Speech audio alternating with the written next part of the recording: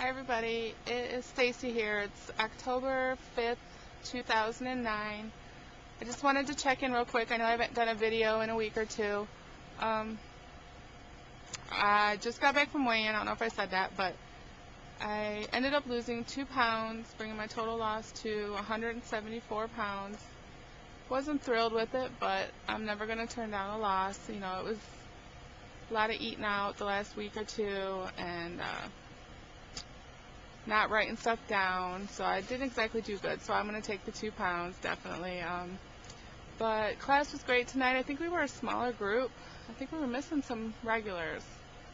Um, but a good group as always, and always good to see everybody. And but everything's going great right now. Life's okay doing the programs okay. Just keep going at it. I know there's a lot of new people on YouTube that have contacted me that are just starting their program, and um, thank you for uh, your inspiration of saying that I inspire you because you contacted me inspires me and kind of pushes me back on track. So I appreciate that. So thanks to all the new subscribers, and I hope everybody has a good week, and I will see you next week with hopefully another loss. Only 20 what 27 more pounds until I'm 199 which is my goal. So 27 more pounds. Keep going after it. See y'all later. Bye